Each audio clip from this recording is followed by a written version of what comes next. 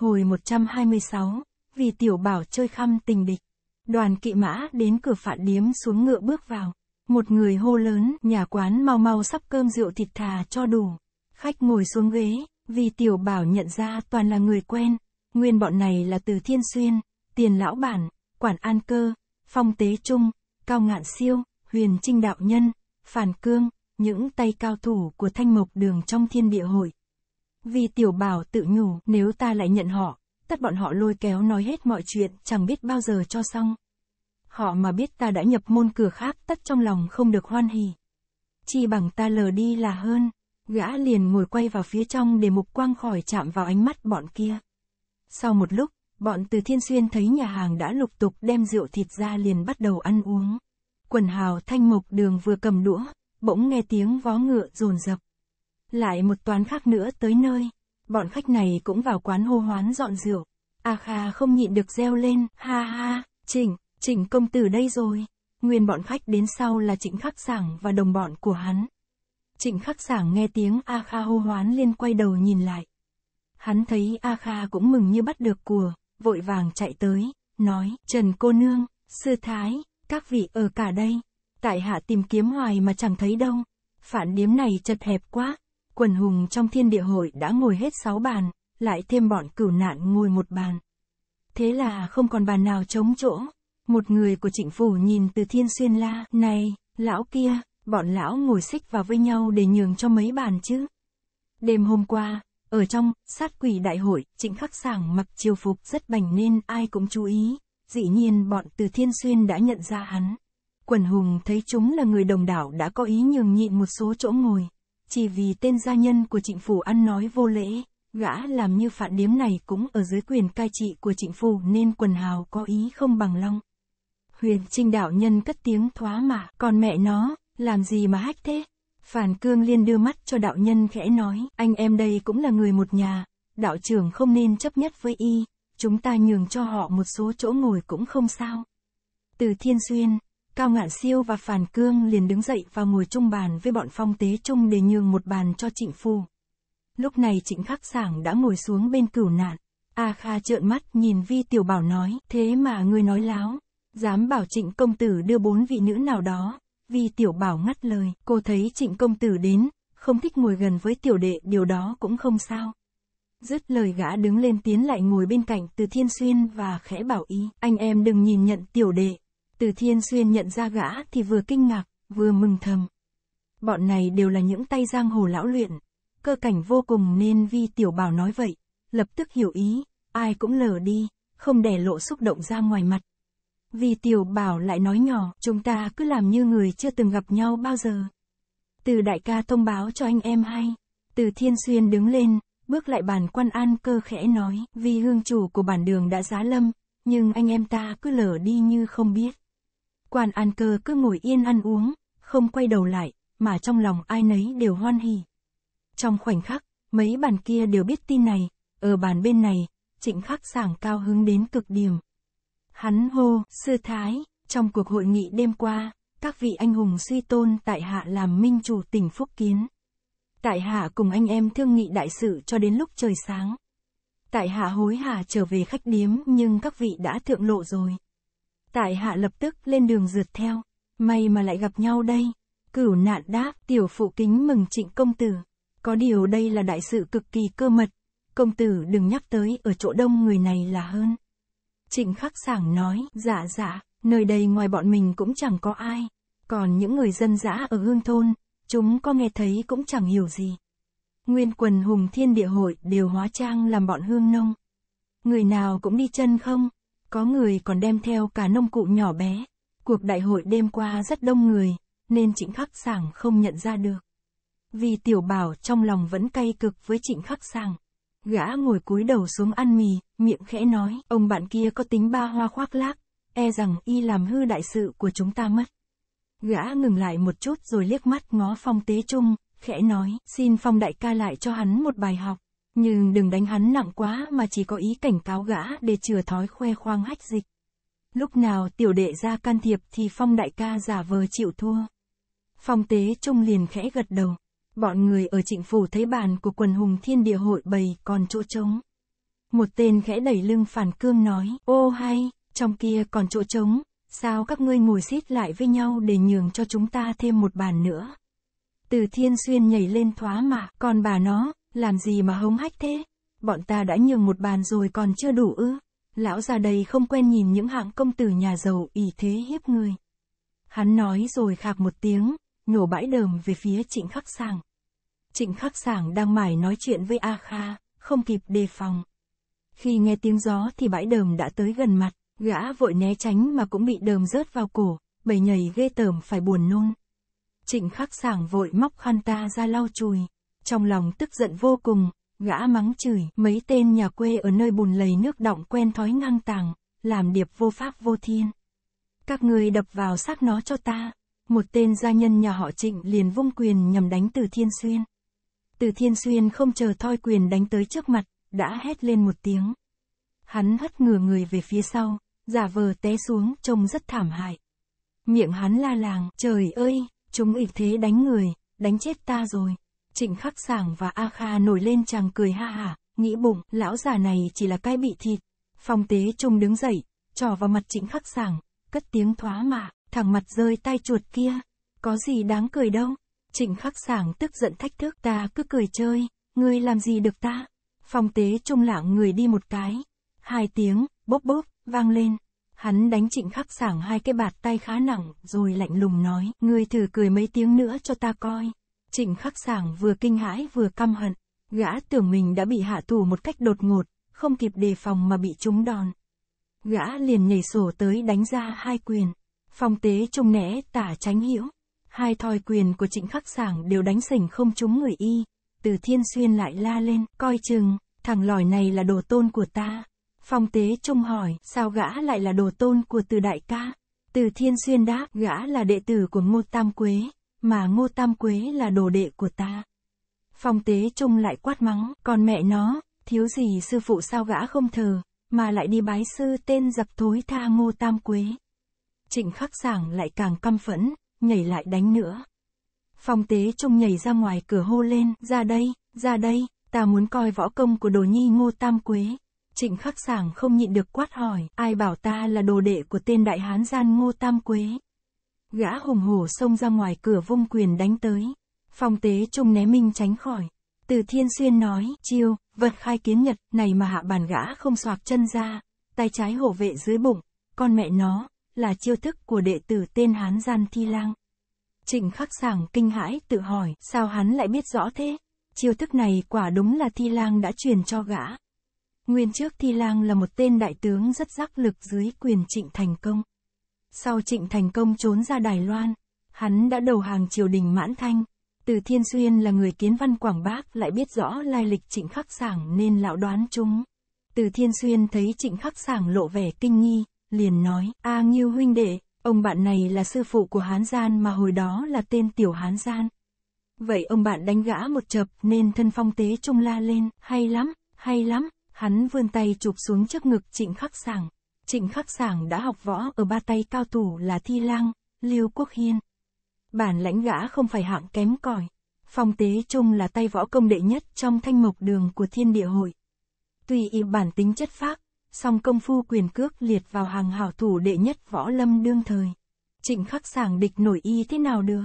Phong tế trung đã hiểu rõ bản tâm của vi tiểu bảo chỉ muốn làm trịnh công tử lòi những cái xấu ra, chứ không muốn ra hại gã, nên không thi triển hết sức, chỉ hời hợt đánh bên này một quyền, đá bên kia một cước như người giỡn chơi.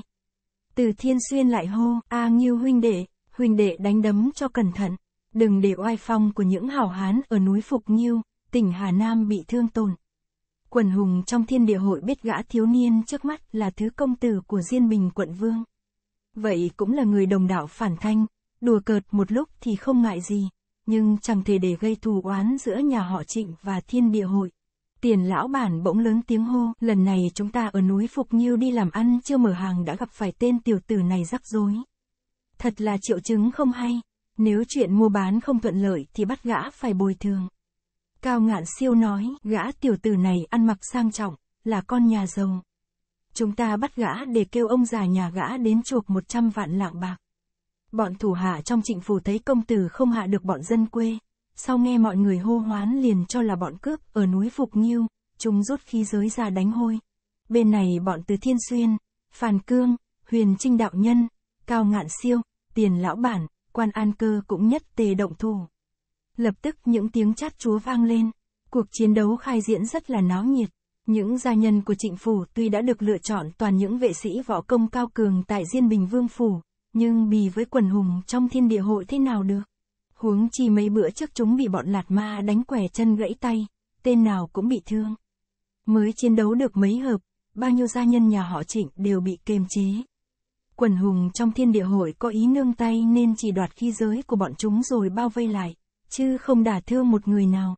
Bên kia bọn gia nhân của trịnh khắc sảng bị bao vây và có người cầm đao canh giữ đành chịu đứng yên không làm gì được. Bên này trịnh khắc sảng đấu với phong tế trung được mười mấy hợp.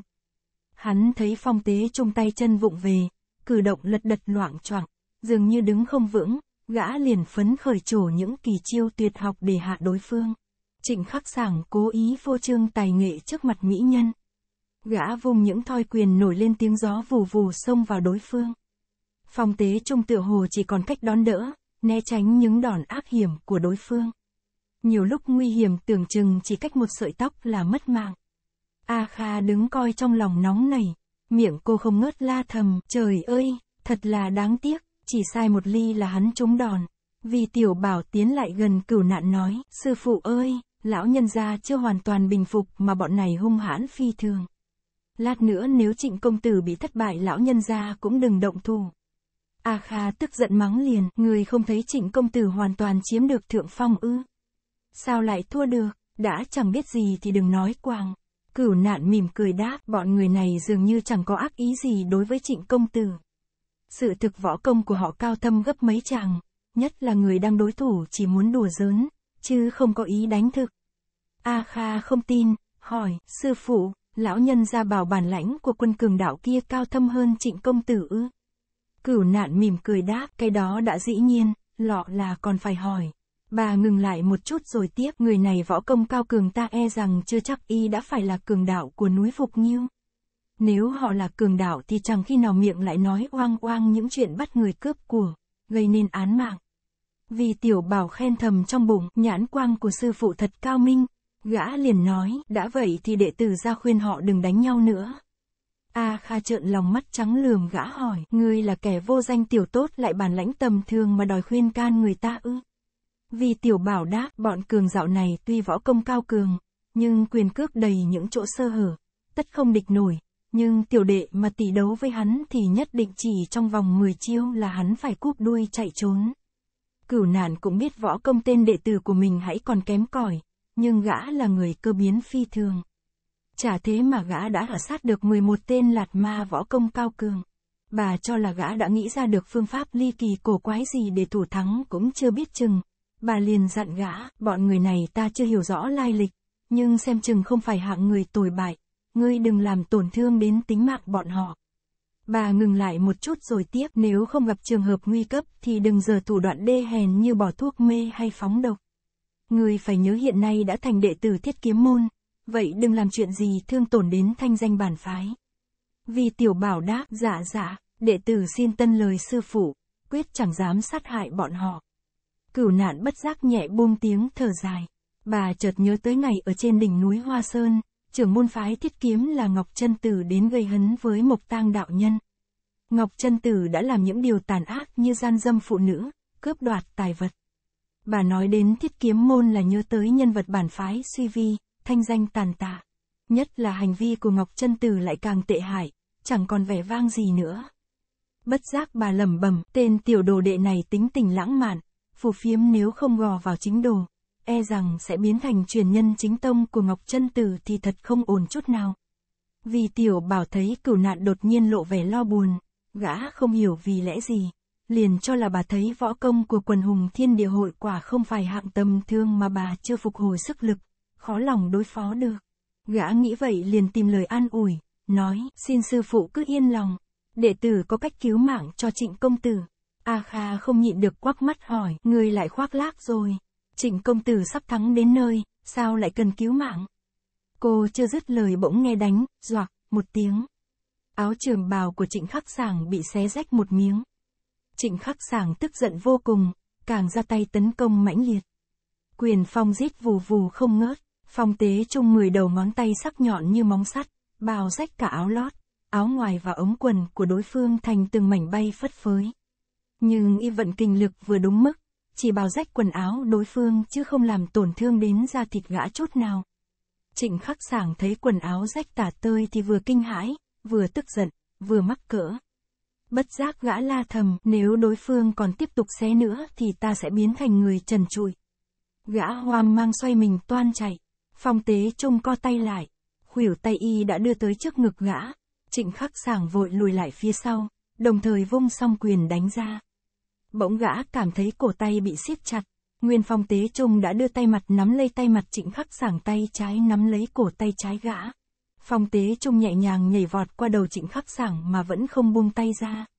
Trịnh khắc sảng bỗng thấy xương bả vai đau nhói lên. Hai tay gã đã bị bẻ quạt ra sau lưng. Phong tế trung tiện tay giơ trịnh khắc sảng lên vừa liệng gã ra vừa hô, đón lấy, trịnh khắc sảng bị liệng ra xa đến 7, 8 trường. Huyền trinh đạo nhân thi triển khinh công đuổi theo ở phía dưới. Y ngừng đầu lên hô lớn, cao huynh đệ, mau chạy theo đón lấy người. Cao ngạn siêu lập tức nhảy ra. Bọn phản cương, từ thiên xuyên, quan an cơ thấy chơi trò này rất thú vị liền lớn tiếng reo hò chạy đi. Huyền Trinh đạo nhân đón lấy trịnh khắc sảng rồi tiếp tục tung đi cho rớt xuống đúng chỗ cao ngạn siêu. Cao ngạn siêu đón lấy gã tiếp tục liệm ra mấy trượng truyền cho từ thiên xuyên tí lực của quần hào thiên địa hội có kẻ mạnh người yếu. khinh công cũng có kẻ hơn người kém, nên liệm trịnh khắc sảng hoặc xa hoặc gần. Quần hào chạy có kẻ mau người chậm, nhưng trịnh khắc sảng bị liệm lơ lửng trên không xa hơn trăm trượng mà thủy trung vẫn không rớt xuống đất. Bây giờ quần hào thiên địa hội mới thi triển công phu chân thực. Quan an cơ tí lực rất mạnh tung trịnh khắc sảng lên cao đến bảy trường. Khi gã rớt xuống, y lại giơ bàn tay đón lấy lưng gã rồi đẩy mạnh đi. Hai luồng lực đảo xô đẩy trịnh khắc sảng khiến gã tựa hồ đang đằng vân giá vũ bị đẩy đi mỗi lúc một xa. Vì tiểu bảo trong lòng rất cao hứng, quên bê một phần hai nanogam cả địa vị mình trong lúc này, bất giác gã vỗ tay cười ha ha. Đột nhiên gã nghe đánh, cốc, một tiếng, A Kha đã co ngón tay gõ đúng vào đầu gã. Vì tiểu bảo giật mình quay đầu nhìn lại thấy A Kha vừa lộ vẻ kinh hãi vừa tức giận. Miệng cô lắp bắp y, y bị bọn chúng bắt đem đi. Ngươi, ngươi mau mau ra cứu y. Vì tiểu bảo đáp bọn họ chẳng có thù oán gì với trịnh công tử. Sư phụ đã bảo đây bất quá là họ giỡn chơi mà thôi. Hà tất sư thư phải nóng ruột. A Kha cãi, không, không phải đâu, bọn chúng bắt y đem đi để đòi tiền chuộc 100 vạn lạng bạc. Vì tiểu bảo đáp nhà trịnh công tử rất giàu có, thiếu gì tiền bạc. Ba bốn trăm vạn lạng bạc còn bỏ ra được, một trăm vạn lạng đối với nhà y đã thấm thía gì. A Kha dậm chân xuống đất bình bịch hỏi, ô hay, người không có mắt hay sao? Y, y bị bọn cường đạo hành hạ, còn thiếu chết đi sống lại. Vì tiểu bảo bước lại gần A Kha nói, sư tỷ muốn tiểu đệ cứu trịnh công tử cũng chẳng khí gì, chỉ cần ưng làm vợ tiểu đệ. A Kha tức giận quá nói láo, cô vẫn nhìn ra xa thấy trịnh khắc sảng hiện giờ bị người ta giữ lấy, chứ không tung liệm như trước nữa. Một người hô lớn, này, các người về bảo Diên Bình quận vương đem tiền đến đây chuộc trịnh công tử, càng nhanh càng tốt. Chúng ta không sát hại trịnh công tử đâu, mỗi ngày chỉ đánh đủ 300 trượng lớn, tiền bạc đem đến sớm ngày nào là đỡ phải ăn đòn ngày ấy. Nếu để chậm 10 ngày là gã phải ăn 3.000 đại trường. A Kha nắm tay Vi Tiểu Bảo vội hỏi, người đã nghe rõ chưa? Bọn chúng mỗi ngày đánh y 300 trường. Từ đây tới Đài Loan đường xa muôn dặm, e rằng một tháng chưa chắc đã trở lại được. Vi Tiểu Bảo nói, mỗi ngày ăn đòn 300 trường. Ta hãy tính ra, cả đi lẫn về hai tháng là 60 ngày. 3 lần 6 18. Bất quá y chịu đòn 1.800 trường. A Kha ngắt lời, hỡi ơi, không phải rồi, một vạn tám ngàn trượng mới đúng ngươi thật là ngu xuẩn. Vì tiểu bảo nói, thế ra tiểu đệ làm toán chật, trịnh công tử phải ăn một vạn tám ngàn trượng thì mông đít y luyện thành, khí cổ công, đến chỗ xuất thần nhập hóa. A Kha tức giận hất gã ra nói, ta không thèm nhìn mặt ngươi nữa. Cô vừa tức giận vừa nóng nảy khóc hòa lên. Vì tiểu bảo dỗ dành, thôi thôi, sư thư đừng khóc nữa. Tiểu đệ nghĩ cách cứu y, còn cái khoản tiểu đệ đề nghị, sư thư đừng chối cãi nữa nhé. A Kha đáp, người hãy ra cứu y cho lẹ rồi sẽ tính. Vì tiểu bảo biết cô nói vậy chỉ là kế hoãn binh. Còn chuyện gả cô làm vợ thì bất luận thế nào cô cũng không chịu. Gã liền nói, sư thư ơi, dù tiểu đệ có phải vì sư thư mà nhảy vào đống lửa cũng không lùi bước. Từ nay sư thư đừng khi khi tiểu đệ nữa. A Kha đáp, được rồi, được rồi, người đi lẹ lên, lẹ lên, cô nói mà không thèm đưa mắt ngó gã, chỉ đăm đăm nhìn ra xa, thấy hai tay trịnh khắc sảng bị trói chặt cánh khuỷu. Một người ôm gã để lên lưng ngựa tựa hồ sắp đem đi. Cô bồn chồn đưa tay ra thúc vào lưng vi tiểu bảo. Vì tiểu bảo mắng thầm trong bụng, còn bà nó, mình gặp được mỹ nhân mà thị lại bảo đi cứu tình lang cho thị thì mối oan khiêm trong đầu óc lão ra phải lên cao đến tột độ. E rằng môn, oan đại đầu công, sẽ luyện đến chỗ xuất quỷ nhập thần. Hồi 127, tiểu hoàng đế mở cuộc điều tra, vì tiểu bảo rảo bước chạy ra la lên, này này, các vị đại vương trên núi Phục Nhiêu, hãy nghe tôi nói một câu. Quần hùng chỉ chờ gã đứng ra can thiệp, nên vừa nghe gã nói đều ngoảnh lại. Cao ngạn siêu hỏi, tiểu huynh đệ, huynh đệ có điều chi muốn nói? Vì tiểu bảo hỏi lại, các vị có biết lai lịch người bị bắt đó thế nào không? Cao ngạn siêu đáp, hắn là thứ công tử của Diên Bình quận vương ở Đài Loan. Dĩ nhiên ta biết rõ lắm, gã ăn nói vô lễ, nếu bọn ta không nể mặt cha gã thì dù gã có 10 cây đầu, bọn ta cũng chặt cho bằng hết. Quân sơn trại của ta rất đông người mà hiện lâm vào tình trạng khuyết lương thảo, nên bữa nay giữ gã lại để vay tạm ra ra gã trăm vạn lạng bạc. Vì tiểu bảo nói, một trăm vạn lạng bạc là chuyện nhỏ, để tại hạ cho các vị. Cũng được cao ngạn siêu cười ha hà hỏi, tiểu huynh đệ, tôn tính đại danh là gì? Tiểu huynh đệ ỉ vào đâu mà dám khoác lác như vậy? Vi tiểu bảo đáp, tại hạ tên gọi vi tiểu bảo. Cao ngạn siêu la lên một tiếng úi trà, rồi vòng tay thi lễ, khom lưng xuống nói, té ra là tiểu bạch long vi anh hùng. Vi anh hùng đâm chết đệ nhất dũng sĩ ở Mãn Châu là ngao bái, tiếng tăm lẫy lừng thiên hạ. Bọn tại hà rất đem lòng ngưỡng mộ, bữa nay được bái kiến tôn nhan quả là tam sinh hữu hành. Bọn phản cương tiếp tục tính cẩn hành lễ, vì tiểu bảo chắp tay đáp tại hạ không dám, cao ngạn siêu nói, vì nể mặt vi anh hùng, bọn tại hạ buông tha cho gã họ trịnh này. Cả số bạc 100 vạn lạng cũng không dám lãnh nữa. Từ thiên xuyên lấy trong bọc ra hai đĩnh bạc lớn, cầm hai tay cung kính dâng lên nói, vi anh hùng, nếu trên đường vi anh hùng không đủ tiền xài thì xin thu lấy 100 lạng bạc này để chi dụng. vì tiểu bảo đáp, đa tạ các vị bằng hữu gã thu lấy đĩnh bạc đưa cho A Kha. A Kha tuyệt không ngờ tên tiểu ác nhân này lại oai danh lẫy lừng như vậy. Đến bọn cường đạo hung thần ác sát mới nghe tên gã đã coi như thần thánh đội trên đầu. Cô có biết đâu tên, tiểu ác nhân, đó chính là cấp bậc trên đầu của, đại cường đạo, kia. Hai bên một cốt một đồng diễn thành màn kịch rất hấp dẫn. A Kha vừa kinh ngạc vừa mừng thầm, tự nhủ, chỉnh công tử thoát nạn rồi. Bỗng thấy phong tế trung tiến lên một bước hỏi, hãy khoan, vì anh hùng, anh hùng một đao giết chết ngao bái. Bọn tại hạ khâm phục vô cùng. Có điều bọn tại hạ chưa ai biết mặt, làm thế nào để chứng thực các hạ là vi anh hùng. Nếu các hạ mạo xưng lão nhân ra, lừa gạt bọn tại hạ thì sao? Vì tiểu bảo đáp các hạ nói vậy cũng có lý. Bây giờ các hạ muốn tại hạ phải làm gì cho các hạ tin tưởng? Phong tế trung nói, tại hạ lớn mật muốn xin vi anh hùng chỉ điểm mấy cao chiêu. Đến đệ nhất dũng sĩ ở Mãn Châu còn bị chết về tay tôn giá thì dĩ nhiên võ công của tôn giá chẳng phải hạng tầm thường. Chỉ cần thử một chút là biết rõ chân giả.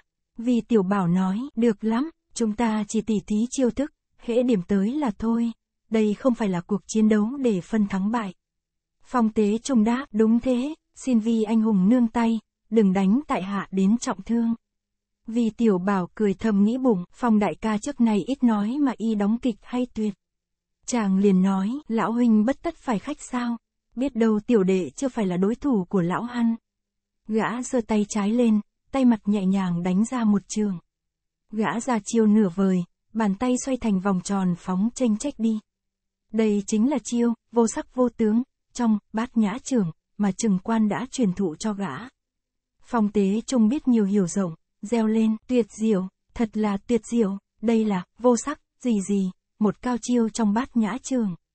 Y vùng tay lên đón trường rồi hất ngửa người về phía sau cơ hồ té nhào. Phát trường của vi tiểu bảo sự thực chẳng có một chút nội lực nào gã cười đã các hạ nói đúng đó. Đây chính là chiêu, vô sắc vô tướng. Tiếp theo gã đưa tay trái tranh trách lên từ góc dưới mé tả qua góc trên mé hữu. Đột nhiên năm ngón tay biến thành chảo chụp xuống. Phong tế trông lại la lên, trời ơi, đây là chiêu, linh thiếu thỉnh kinh, trong bát nhã trường. Y đứng xoạc chân ra, từ từ đẩy hai tay về phía trước. Gan bàn tay y khẽ đụng vào đầu ngón tay vi tiểu bảo. Lập tức y rú lên một tiếng, úi trao, rồi lộn người đi ba vòng.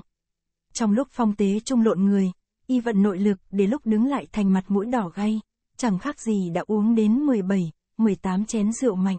Phong tế trung đứng lên người lảo đảo rồi té xuống. Y xua tay nói, không, không được rồi, tại hạ không dám tỉ đấu nữa. Xin chịu đầu hàng, vì anh hùng, đa tạ anh hùng đã tha mạng. Vì tiểu bảo chắp tay nói, đa tạ lão huynh đã có ý nhường nhìn. Gã vừa nói vừa nheo mắt nhìn phong tế trung nhưng phong tế trung đóng kịch rất kín đáo. Vẻ mặt vừa tỏ vẻ buồn rầu, vừa cảm kích, lại ra chiều khâm phục vi tiểu bảo. Từ thiên xuyên rào bước tiến ra nói, vì anh hùng bản lãnh kinh người. Tiếng đồn quả không hoa. Tại hà cũng xin lãnh giáo mấy chiêu. Vì tiểu bảo lại đáp, hay lắm, gã tiến gần lại, hai tay đặt chéo nhau. Một tay toàn nắm lấy trước ngực bên trái, một tay chụp vào cạnh sườn bên phải đối phương. Đây là một chiêu trong, niêm hoa cầm nã thủ, thuộc loại võ công thượng thẳng của phái thiếu lâm. Từ thiên xuyên ra tỷ đấu cùng vi tiểu bảo cốt ý để mua vui. Nhưng gã thấy chiêu cầm nã thủ pháp của gã rất cao minh thì không khỏi ngấm ngầm bội phục, nghĩ thầm, vi hương chủ quả là nhân vật thông tuệ phi thường. Y học võ công tiến bộ rất mau chóng. Lão có biết đâu vi tiểu bảo ra chiêu thức giống hệt, mà thực ra không có chút nội lực nào. Dù lão có bị gã chụp chúng cũng chẳng tổn thương gì từ thiên xuyên thân hình bé nhỏ thấp lùn, sở trường về những đòn võ công cầm nã mau lẹ. Lão liền thi triển bản lãnh chuyên môn của mình để chiết chiêu với vi tiểu bảo. Sau khi trao đổi vài chiêu, hai người nắm lấy tay nhau. Từ thiên xuyên, ối, lên một tiếng, tay mặt lão mềm rũ xuống, giả vờ xương tay bị chật khớp. Lão nói, tại hạ xin chịu đầu hàng. Lão lùi lại hai bước, tay trái tự nắm lấy tay mặt rút ra co lại làm như đặt xương vào đúng khớp trở lại. Thủ pháp đặt lại khớp xương cho đúng nguyên là môn công phu thượng thẳng trong cầm nã thủ. Từ thiên xuyên lúc cư động làm theo đúng phương pháp, không dám cầu thả, coi rất ngoạn mục. Tiếp theo bọn phản cương, huyền trinh đạo nhân, tiền lão bản lần lượt ra xin tỷ đấu. Vì tiểu bảo vẫn sử những chiêu thức thượng thẳng của trừng quan đã truyền thụ cho để tỷ đấu với họ. Ba người bọn phản cương đấu với gã hoặc ba, bốn triệu, hoặc bảy, tám chiêu rồi đều chịu thua hết. Cao ngạn siêu nói, bữa nay thấy vi anh hùng thi triển những cao chiêu thực được mở rộng tầm mắt. Sau này có dịp vi anh hùng qua núi Phục Nghiêu nếu không rẻ bỏ xin mời vào hàn huyên mấy bữa. Vì tiểu bảo đáp dĩ nhiên tại hạ sẽ đến quấy nhiễu các vị. Quần hùng khom lưng thi lễ rồi dắt ngựa ra tới đầu thị trấn mới nhảy lên rông tuốt, bạn họ không dám lên ngựa trước mặt vi tiểu bảo là tỏ ra cung kính đến cùng cực. Trịnh khắc sảng thấy tình trạng này khi nào còn dám hống hách mà không đem lòng kính phục. Hắn tiến lại trước mặt vi tiểu bảo ngỏ lời tạ ơn. Vi tiểu bảo cười nói, trịnh công tử bất tất phải khách sáo. Tại hạ bất quá gặp ngày hên vận, đánh ẩu đánh ta, không ngờ thắng được bọn chúng. Kể về võ công thực thì tại hạ còn kém công tử xa lắm. Gã nói mấy câu này là đúng sự thực, nhưng chính khắc giảng lại cảm thấy là luận điệu trào phúng rất cay cực cho hắn. Bất giác mặt thẹn đỏ bừng. Tối hôm ấy đoàn người đi về phía nam đến Hiếu huyện liền tìm vào quán trọ. Cửu nạn sai A Kha ra ngoài rồi hỏi Vi Tiểu Bảo, bọn người diễn kịch lúc ban ngày phải chăng đều là bạn hữu với ngươi? Nên biết cửu nạn là tay võ công xuất quỷ nhập thần. Bọn phong tế chung, từ thiên xuyên giả vờ đóng kịch chỉ lừa gạt được trịnh khắc sảng cùng A Kha, chứ khi nào có thể che mắt cao nhân nơi cửa Phật. Vì tiểu bảo biết trò hệ của mình đã bị cửu nạn phanh phui ra, gã cười đáp, bọn họ không thể kể là bạn hữu với đệ tử được. Cửu nạn hỏi, bọn người đó đều võ công chắc tuyệt, sao lại chịu giở trò giỡn ra với ngươi? Vì tiểu bảo cười đáp, có lẽ bọn họ không quên nhìn thái độ kiêu căng hống hách của trịnh công tử, nên mượn tay đệ tử làm trò để cảnh cáo nét kiêu căng của y. Cửu nạn thấy gã nói có lý, cũng khen ngợi, mấy chiêu bát nhã trưởng và niêm hoa cầm nã thủ ngươi xử rất đúng cách. Vì tiểu bảo cười đáp, đó là mấy miếng để loè người. Xin sư phụ đừng nhắc tới nữa. Trong lúc hai người đang nói chuyện lại nghe tiếng ngựa hí và tiếng người huyên náo. Một đoàn kỵ mã rất đông tìm vào ngủ trọ. Một người đứng giữa nhà lớn tiếng tìm cho một gian phòng hào hạng. Còn ngoài ra những phòng thường cũng được. Vì tiểu bảo nghe thanh âm bất giác mừng thầm trong dạ vì gã đã nhân ra đây là tiếng nói của giao đầu sư tử ngô lập thân ở mộ vương phù Lại nghe điếm tiểu nhị nói, xin khách quan cứ yên tâm, những phòng ốc trong tiểu điếm đều rất gọn gàng và sạch sẽ. Tiểu điếm xin bảo đảm không có chuột bọ, mũi dẹp. Mời khách quan qua bên này. Vì tiểu bảo hỏi cửu nạn, sư phụ, chúng ta có đi giết ngô tam quế không? Cửu nạn đáp, chuyến đi này ta bị thương khá nặng. Cần tìm nơi tĩnh dưỡng trong vòng một tháng để trở lại lành mạnh như thường rồi hãy quyết định. Nếu không, dọc đường lại gặp địch nhân, ta chưa thể ra tay chống cự, mà để cho ngươi hành động bừa bãi thì thiết kiếm môn của chúng ta chẳng còn thể thống gì nữa. Bà nói tới đây cũng không nhịn cười được. Vì tiểu bảo nói, dạ, sư phụ cần giữ thân mình cho lành mạnh là điều khẩn yếu. Gã lấy gói trà long tinh thượng phẩm ở trong túi ra há một chung đưa lại nói tiếp, chờ ngày sau đệ tử học được võ công của sư phụ rồi có gặp địch nhân sẽ động thủ một cách đàng hoàng. Sư phụ hãy ở nhà để đệ tử ra chợ mua mấy thứ rau tươi quả ngọt. Đoạn gã ra khỏi phòng, thấy A Kha cung trịnh khắc sảng đang song vai vừa đi vừa nói chuyện rất thân thiết. Cơn ghen tự đáy lòng nổi lên, vì tiểu bảo lẽo đẽo theo sau hai người. A Kha chợt quay đầu lại hỏi, ngươi theo chúng ta làm chi? Vì tiểu bảo đáp, không phải tiểu đệ đi theo sư thư đâu mà là đi mua rau cho sư phụ. A Kha nói, hay lắm, trịnh công tử, chúng ta đi sang bên kia chơi. Cô vừa nói vừa giơ thay trỏ về phía một trái núi nhỏ ở mé Tây Thành. Vì tiểu bảo ghen tức vô cùng nói móc coi chừng nghe, đừng để chạm chán bọn Sơn Vương, tiểu đệ không rảnh để đi cứu các vị đâu. A Kha lườm gã hỏi, ai cầu ngươi đi cứu bọn ta? Trịnh khắc sảng biết gã có ý bới móc chuyện xấu xa của mình bữa trước, trong lòng căm hận vô cùng. Hắn hắng giọng một tiếng nhưng không nói gì, dảo bước đi ngay. Vì tiểu bảo thấy hai người đi mỗi lúc một xa, gã chợt nghe tiếng A Kha cười khanh khách ra chiều đắc ý, thì trong lòng lại khích động. Gã thò tay vào ống giày rút đao trùy thủ, những muốn rượt theo đâm cho trịnh khắc sàng một dao chết tươi cho hà giận. Nhưng gã vừa bước đi hai bước lại nghĩ bụng, nếu xảy cuộc đánh nhau thực sự thì ta không phải là đối thủ của bọn chúng. Gã đành nín nhịn ra chợ mua trái cây, nấm hương, mộc nhĩ, rau xanh đem về quán trọ. Gã thấy Kha và Trịnh Khắc Sảng chưa trở về lại tưởng tượng đến lúc này hai người đang nói chuyện yêu thương ở nơi vắng vẻ. Gã không nhịn được, bất giác lớn tiếng thoá mà chửi bâng quơ. Đột nhiên có người đến vỗ vai rồi ôm lấy gã cười hỏi, vì đô thống, ông bạn cũng ở đây ư? Vì tiểu bảo nhìn lại thì ra quan ngự tiền thị vệ tổng quản Đa Long. Gã mừng như bắt được của, vừa cười vừa reo lên hỏi, sao đa đại ca cũng đến đây?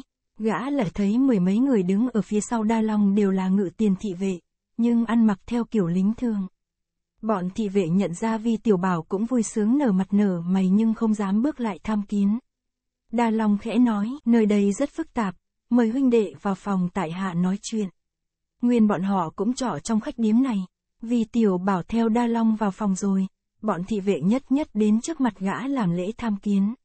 Vì tiểu bảo cười nói, được rồi, được rồi, gã lấy ra tấm ngân phiếu ngàn lạng bạc đưa cho chúng nói tiếp, các anh em cầm chút tiền này đi uống rượu nghe. Bọn thị vệ đã biết vị phó tổng quản này vốn là tay hào phóng, cứ hễ gặp gã là có phận nhờ. Chúng liền hoan hỉ tạ ơn lui ra. Đa Long khẽ nói, có bọn nghịch tặc bí mật mưu đồ làm phản. Chúng mở cuộc đại hội tại phủ Hà Gian để bàn việc. Đức Hoàng thượng hay tin phái bọn thuộc hạ đến đây ngấm ngầm mở cuộc điều tra. Vì tiểu bảo nghĩ thầm, cơ quan tình báo của tiểu hoàng đế quả nhiên bén nhạy. Gã liền khẽ đáp, tại hà cũng vì vụ đó mà tới đây. Nghe đâu lần này bọn chúng mở cuộc đại hội kêu bằng, sát quy đại hội. Đa Long giơ ngón tay cái lên nói, khiếp quá, khiếp quá, chẳng có một việc gì là qua được tai mắt vi đô thống. Vi tiểu bảo hỏi, đa đại ca đã điều tra được tin tức gì xác thực chưa? Đa Long đáp, tại hạ đã cho hai người anh em trà trộn vào cuộc đại hội, và hay được bọn chúng muốn đối phó với Ngô Tam Quế. Mỗi tỉnh cử ra một vị minh chủ, hay ở chỗ tên tuổi những minh chủ đều biết rõ rồi. Vì tiểu bảo cố ý hỏi lại, là những ai vậy? Đa Long đáp, minh chủ ở tỉnh Vân Nam là Mộc Kiếm Thanh, Ơ Phúc Kiến là con thứ của Trịnh Kính tên gọi Trịnh Khắc Sang. Rồi hắn nói thêm danh tự mấy vị minh chủ nữa. Vì tiểu bảo hỏi, chúng có nhận diện được bọn Mộc Kiếm Thanh, Trịnh Khắc Sàng không? Đa Long đáp, vì lúc đêm tối nên mấy người anh em không nhìn rõ mặt mà cũng không dám lại gần coi. Vì tiểu bảo hỏi, Hoàng thượng còn dặn gì nữa không? Đa Long đáp, Hoàng thượng là bậc thánh minh, thần cơ diệu toán không ai bì kịp. Đa đại ca, khi đại ca trở về xin tâu lại Hoàng thượng là nô tài vi tiểu bảo điều tra xong vụ này sẽ lai kinh diện tấu. Đa Long đáp, dạ dạ, vì đồ thống đốc giả trung quân lập nên công lớn, nhất định sẽ được Hoàng thượng phong thường. Vì tiểu bảo cười khanh khách nói, nếu có công lao há chẳng là đánh giá cho cả bọn ngự tiền thị vệ chúng ta. Bây giờ có việc này phiền các vị một phen tân khổ. Quần thị vệ đứng ngoài cửa phòng trầu trực nghe tiếng đồng thanh hô, đô thống đã có việc sai bảo, dĩ nhiên bọn nô tài phải hết lòng. Vì tiểu bảo nói, vụ này người nói ra thật tức đến chết người. Tại hạ có một cô bạn, hiện giờ bị một tên tiểu tử hoạt đầu đang quyến rũ. Gã nói tới đây, quần thị vệ đã khí tức sông lên đến cổ, chúng ngoác miệng ra mà thoá mà, tổ bà nó, tên tiểu tặc nào mà lớn mật, dám đụng đến người của vi đô thống. Bọn nô tài phải xé xác gã ra lập tức, vì tiểu bảo chậm rãi nói, bất tất phải giết hắn. Các vị chỉ cho hắn ăn đòn một phen là tại hạ đã hà giận rồi. Gã tiểu tử này cũng chỉ là bạn hữu của tại hạ, không nên đánh hắn bị trọng thương. Nhất là chớ đụng đến vị cô nương kia. Bọn thị vệ cười đáp, dĩ nhiên bọn nô tài hiểu rõ điều đó. Còn ai dám đắc tội với một vị hảo cô nương của đô thống đại nhân? Vì tiểu bảo nói, hai người hiện đang đi về phía tây. Các vị động thủ với tên tiểu tử kia một lúc, rồi tại hạ giả vờ đến cứu viện đánh đuổi các vị chạy đi. Khi đó các vị nhường nhịn tại hạ để ý trung nhân hài lòng và tại hạ mới có thể diện với cô. Bọn thị vệ cười ồ, đồng thanh đáp, đô thống đại nhân sai khiến bọn nô tài làm việc này thật là thú vị. Đa Long cười nói, các anh em đi làm cho nên việc và luôn luôn phải nhớ hành động cho thận trọng. Nếu để bại lộ cơ quan là vi đô thống không chơi với các vị nữa. Quần thị vệ cười đáp đã là công việc của vi đô thống thì dù bọn nô tài có phải dấn thân vào dầu sôi lửa bỏng, cũng quyết không lùi bước. Một tên thị vệ cười nói, mẹ kiếp, gã tiểu tử kia đi trêu ghẹo người bạn lòng của vi đô thống khiến cho bọn nô tài không thể nhịn được. Chẳng thà hắn giỡn cợt với má má nô tài, thường khi nô tài cũng chưa cần liều mạng với hắn. Mọi người nghe nói đều cười rộ, vì tiểu bảo mỉm cười nói, anh em nói khẽ chứ, đừng để người ngoài nghe biết chuyện. Quần thị vệ lên chân xuống tay, cười nói ẩm ý, dần rộ kéo đi. Vì tiểu bảo cầm giỏ rau rau cho nhà bếp, thưởng chúng 5 đồng cân bạc và dặn chúng làm cơm canh cho tinh khiết ngon lành. Đoạn gã thủng thẳng ra ngoài khách sạn đi về phía tây. Vì tiểu bảo đi chưng hơn một dặm đã nghe tiếng quát tháo cùng tiếng thoá mà om sòm. Gã ngừng đầu nhìn ra xa thấy mấy chục người tay cầm binh khí đang đánh nhau kịch liệt. Gã lẩm bẩm, thằng lòi này đáo để thật, hắn phải địch với một số đông mà vẫn còn chống chọi được. Vì tiểu bảo từ từ tiến gần lại, bất giác gã giật mình kinh hãi vì thấy bọn thị vệ vây một lũ bảy tám người đang chiến đấu rất hăng hái. Bảy, tám người này đều tựa lưng vào bức tường thành để chiến đấu. Vì tiểu bảo nhìn kỹ lại thì ra bọn Mộc Kiếm Thanh, Ngô Lập Thân ở Mộc Vương Phủ. Một vị cô nương nhỏ tuổi đứng bên Mộc Kiếm Thanh, tay cầm song đao đối địch, đầu tóc rũ rượi. Hai người đứng trên đầu tường cầm tay nhau coi cuộc chiến đấu. Chính là A Kha và Trịnh Khắc Sảng. Vì tiểu bảo vừa tức lại vừa buồn cười, miệng lẩm bẩm, còn mẹ nó, đánh lầm người rồi, chắc là chúng nó thấy Mộc công tử đi với cô kia, chẳng phân rõ xanh đỏ trắng vàng đã nhào vô động thủ liền. Ga lại thấy đa long tay cầm thanh quỷ đầu đao đứng ở phía sau đốc chiến, liền đến bên y, khẽ nói, đánh lầm người rồi, hai người đứng trên đầu tường ia mới đúng. Gã dứt lời lập tức lảng ra chỗ khác. Đa Long hô lớn, không phải rồi, trời ơi, người quen cả đây mà. Té ra kẻ thiếu nợ không phải các vị này. Anh em hãy lùi lại nhường lối cho các vị đi quần thị vệ nghe nói tới tấp lùi lại. Bọn Mộc Kiếm Thanh, Ngô Lập Thân ít người, cơ hồ không địch lại. Họ cho là mình bị lộ hình tích nên bọn quân thanh này đến chóc nã. Bây giờ thấy bên địch lùi lại tha mình đi thì còn gì hay hơn nữa. Ngô lập thân chợt nhìn thấy vi tiểu bảo, la thầm, thật là thẹn đến chết người. Phen này lại được vi ân công cứu mạng không thì chết giáo. Mình chẳng có chi đáng kể, nhưng tiểu vương gia mà lọt vào tay bọn thắt đát thì dù mình muôn thác cũng chưa đủ đền tội. Lúc này lão không tiện nhìn nhận vi tiểu bảo, liền cùng bọn mộc kiếm thanh hối hả ra khỏi cửa thành, chạy về phía bắc. Vi tiểu bảo nhảy lên đầu tường hỏi A Kha, sư thư ơi, họ làm gì mà đánh nhau dữ thế? Bọn chúng là ai vậy? A Kha đáp, ta biết đâu đấy, bọn quan binh này bảo là bọn kia thiếu nợ. Vì tiểu bảo nói, chúng ta về quán trọ thôi, kẻo sư phụ mong đợi. A Kha đáp, ngươi về trước đi rồi ta về sau. Cô chưa dứt lời, bọn thị vệ đã chạy tới nơi. Một tên trò vào trịnh khắc sảng hô lớn, hắn đây rồi, kẻ thiếu tiền chính là thằng cha này. Vì tiểu bảo khẽ nói, trịnh công tử, sư thư, chúng ta chạy lẹ đi thôi. Bọn quan binh thát đát thường làm càn làm bậy, dây vào với họ là phiền lắm đấy. A Kha cũng ngấm ngầm sợ hãi nói theo, phải rồi, chúng ta nên về quách. Lại thấy tên thị vệ xông lên nhìn vào mặt trịnh khắc sảng nói, hôm qua ngươi đến thưởng ngoạn các hoa cô nương trong kỹ viện ở phủ Hà Gian, còn thiếu ta một vạn lạng bạc. Biết điều thì mau mau trả đi. Hồi 128, hạ tình địch mấy phen thi kế. Trịnh khắc sảng tức giận lớn tiếng hỏi, các ngươi đừng nói càn. Ta vào kỹ viện bao giờ? Ta làm gì mà thiếu nợ các ngươi? Một tên thị vệ hỏi lại, người muốn cãi xóa chăng? Đêm hôm kia ngươi kề đùi kề vế với hai ả mày ngài, tên chúng là gì ngươi còn nhớ không? Một tên thị vệ khác nói theo, ả lớn tuổi tên gọi là A Thúy, ả nhỏ tên gọi là Hồng Bảo. Người quay sang mé tả hôn một cái, uống một tợp rượu, rồi xây qua bên phải sờ má ả này, cũng uống một tợp rượu. Người ăn chơi thỏa thích như vậy mà còn chối được ư? Một tên thị vệ nữa nói, người vừa ôm ấp hai người má phấn môi son, vừa đánh bạc gieo xúc sắc với chúng ta. Người thua mất hai ngàn lạng bạc, muốn đánh gỡ, người mượn ta ba ngàn lạng, lão huynh đây hai ngàn. Sau người lại vay y một ngàn năm trăm lạng nữa, người còn mượn của vị này hai ngàn.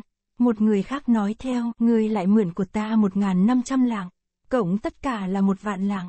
Rồi cả năm tên vươn tay ra nói, giết người thì phải đền mạng, thiếu nợ thì phải trả tiền, mau mau hoàn lại bọn ta đi.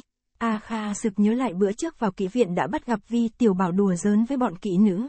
Rồi mới đây, hôm ngồi ẩn trong đống rơm, trịnh khắc sảng không ngớt sờ soạng vào mình cô, nên cô cho là vụ này có thực.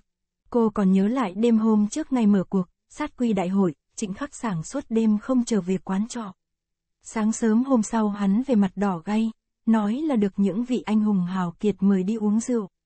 Bây giờ cho là uống rượu thì có thật nhưng chẳng phải anh hùng hào kiệt nào mời hắn hết, mà là uống rượu ở trong kỵ viện với bọn kỵ nữ đê tiên. A Kha nghĩ tới đây, bất giác trong lòng nổi cơn ghen tức, nước mắt chạy quanh cơ hồ nhỏ giọt.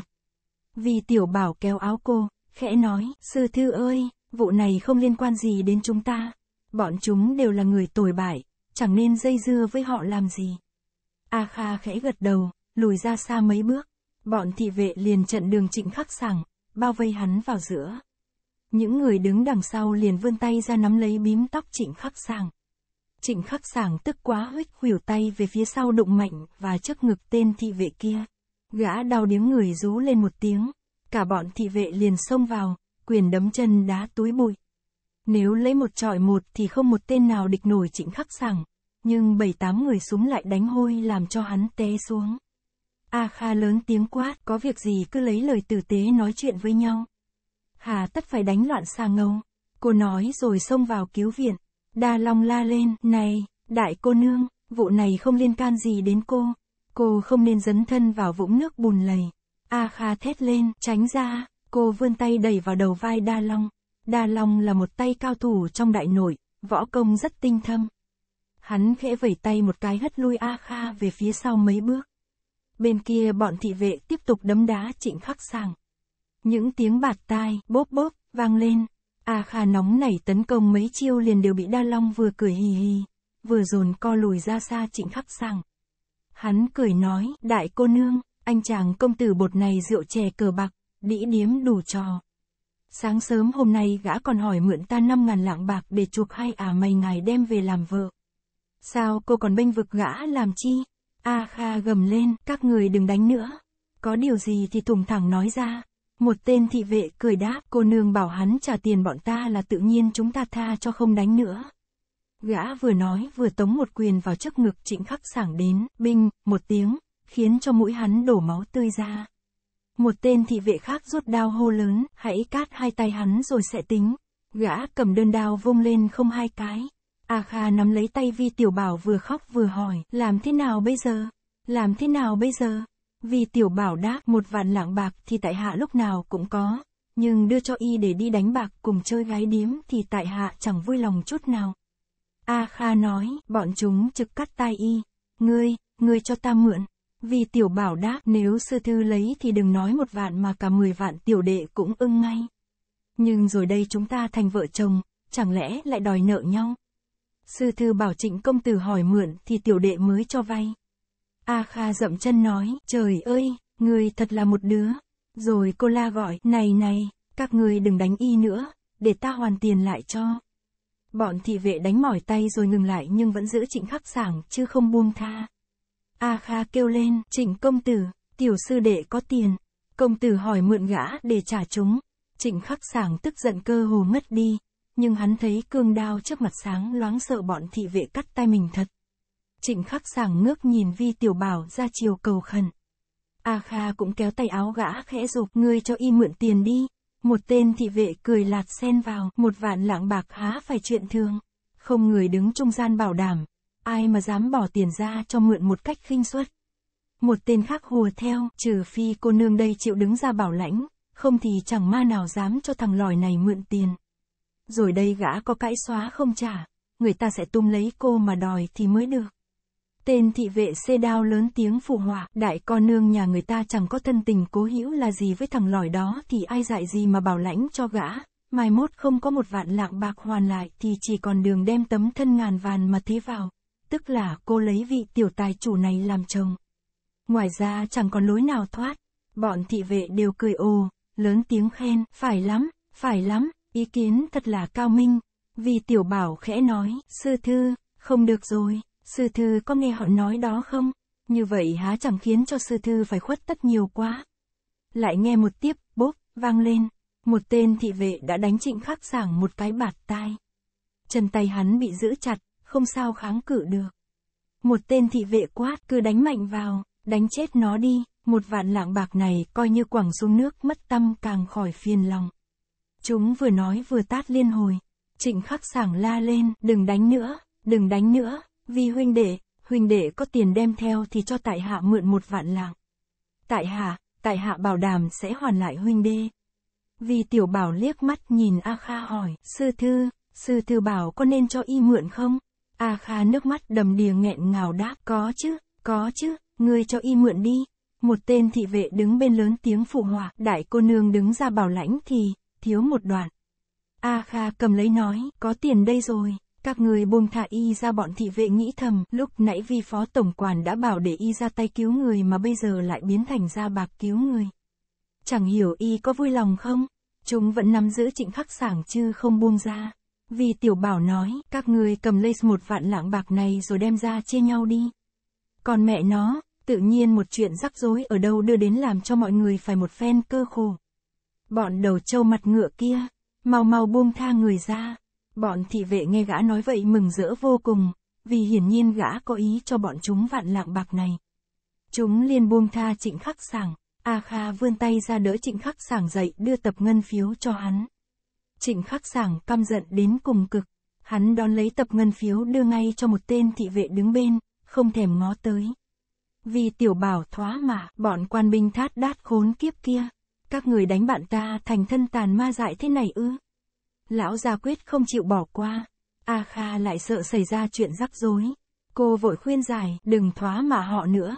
Chúng ta về thôi, vì tiểu bảo nói, vụ này thật khiến cho người ta phải căm hận. Thiếu nợ thì trả bằng tiền. Bây giờ tiền trả rồi, nhưng trịnh công tử bị chật đòn thì sao? Chẳng lẽ để y chịu đòn một cách oan uổng? Đa Long cười ha hà nói, thằng lòi này vừa thoát khỏi ngôi sao bần cùng đã nổi lòng hiếu sắc được ngay. Còn mẹ nó, Người tựa vào đại cô nương nhà người ta làm gì thế? Lão nói rồi vươn tay ra túm lấy cổ áo trịnh khắc sảng, nhắc bổng người hắn lên xoay đi mấy vòng, lớn tiếng quát, ta liệm ngươi xuống dưới chân thành để coi ngươi sống hay chết. Trịnh khắc sảng kêu ầm lên, đa long quật mạnh hắn xuống đất rồi nói, từ nay trở đi ngươi khôn hồn thì rời xa vị cô nương này. Người ta là một vị thiên kim tiểu thơ, mà ngươi là một thằng lỏi cờ bạc đàng điếm, cắp gà trộm chó, cứ chẳng màng với cô thì còn chi là danh giá con người ta. Lão ngừng lại một chút rồi hăm dọa, nếu ta còn thấy ngươi quấn quýt bên mình vị cô nương này mà ta không vặn cổ ngươi đi thì đừng kể ta là người. Lão nói rồi tay trái nắm lấy bím tóc trịnh khắc sảng, tay phải xoắn tóc hắn. Lão hít mạnh một hơi chân khí, ngực phồng lên như ảnh ương. Những bắp thịt bả vai và cánh tay nổi cuồn cuộn.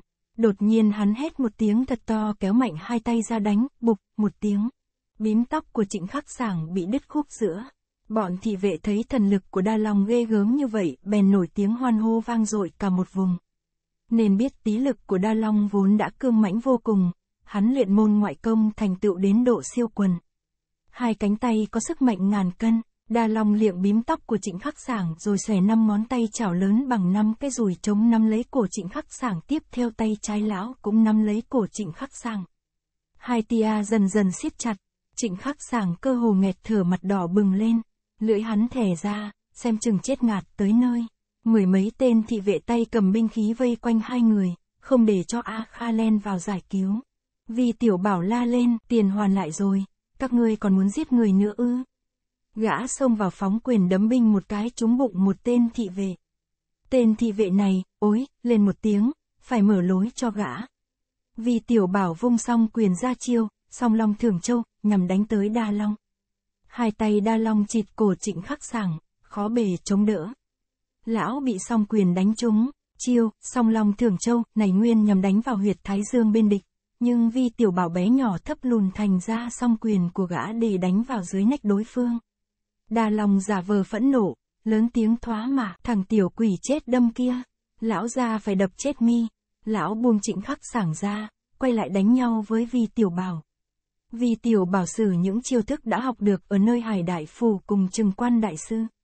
Thân pháp linh hoạt, thi triển chiêu thức coi rất ngoạn mục. Đa lòng vung tay phóng quyền vù vù, nhưng chiêu nào cũng chỉ đánh gần tới người vi tiểu bảo, còn cách vài tấc liền biến chiêu lái ra chỗ khác. Đột nhiên lão cao hứng phóng cước đá một phát thạt mạnh, những tiếng, rắc rắc, vang lên, lão đá gãy cây táo bên cạnh vi tiểu bảo. Bọn thị vệ lớn tiếng reo hò, đánh chết thằng lòi này đi, đập gã nát ra như tương. A Kha thấy đa long thần dũng phi thường. Cô sợ vi tiểu bảo bị lão đánh chết thật. Lên cả tiếng hô hoán, sư đệ, sư đệ, đừng đánh nữa, chúng ta về thôi. Vi tiểu bảo mừng thầm tự nhủ, nàng quan tâm đến ta rồi. Cô ả này cũng không phải là hạng vô lương tâm. Đa Long lại phóng chân trái đã một phát. Một tảng đá lớn bằng cây đấu bị hất tung lên rồi rớt xuống chân tường. Vì tiểu bảo ra chiêu mỗi lúc một mau lẻ. Gã phóng trưởng đánh chúng vào da bụng đối phương. Đa Long thét lên be be tựa hồ đau đớn vô cùng. Hai chân lão lại ngồi bệt xuống đất. Miệng lão gầm lên, lão ra chưa thua đông, Còn phải đánh nữa. Lão nhảy vọt lại, hai tay vung lên bổ xuống đánh tới tấp. Vì tiểu bảo nghiêng mình né tránh thoi quyền của đa long đánh vào tường thành làm vỡ tan ba viên gạch xanh lớn vì tiểu bảo vung cước đá tới. Phát đá chưa đụng vào người đa long, lão đã rú lên một tiếng rồi té từ trên mặt thành lăn xuống chân tường. Lão nằm yên không nhúc nhích, vì tiểu bảo giật mình kinh hãi vội nhảy theo đến gần cúi xuống nhìn. Đa long ngừng đầu lên mỉm cười. Lão ra hiệu cho gã biết là không hề gì. Rồi lão lại nằm yên, vì tiểu bảo biết lão giả vờ nên mới yên giả. Bọn thị vệ vẫn còn kinh hãi thất sắc. Vì tiểu bảo bèn kéo A Kha khẽ nói, chạy lẹ đi, chạy lẹ đi, rồi gã cùng A Kha và Trịnh Khắc Sảng vắt chân lên cổ chạy về khách điếm. Trịnh Khắc Sảng vào phòng riêng của hắn, còn A Kha và Vi Tiểu Bảo chạy thẳng vào phòng cửu nạn. Cửu nạn ngó thấy A Kha vẻ mặt hốt hoảng, hơi thở hồng hộc liền hỏi, đã xảy chuyện gì rồi sao? A Kha vừa thở vừa đáp, có mười mấy tên quan binh thát đát sinh chuyện rắc rối với trịnh công tử.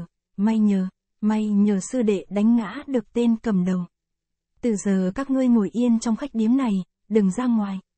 A Kha khẽ giả một tiếng rồi cúi đầu xuống. Sau một lúc cô lại băn khoăn về thương thế của trịnh khắc sảng liền qua phòng hắn xem sao. Thì gia nhân đã diệt thuốc buộc thương cho hắn rồi. Hắn đang ngủ trên giường. Vì tiểu bảo thấy A Kha ở phòng trịnh khắc sảng đi ra, Gã lại nổi lòng ghen tức, tự nhủ, con nhỏ này vẫn một lòng một dạ thương xót thằng lòi thối tha kia. Ta sẽ cắt tay, chọc đuôi mắt gã thử xem thị còn quý gã như bảo bối nữa không. Vì tiểu bảo tuy là một đứa nhỏ gian ngoan lắm mưu nhiều trí, nhưng về đường tình ái nam nữ thì gã hãy còn kém lắm.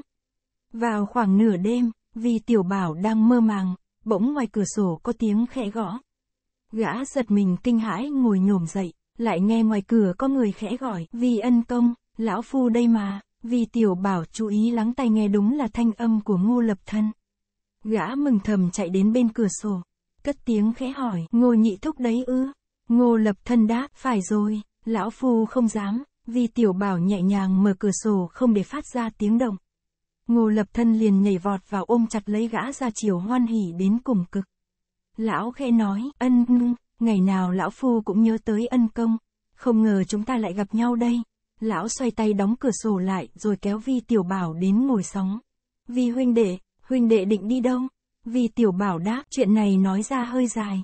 Nhị ca ơi, tiểu đệ đang toan tính việc cầu thân. Ngô lập thân ra chiều hớn hở hỏi, tiểu huynh có lời mừng huynh đệ. Không hiểu huynh đệ đã nhắm trúng vị cô nương nào. Trong bụng lão nghĩ thầm, phải chăng gã muốn cầu thân với Phương Di?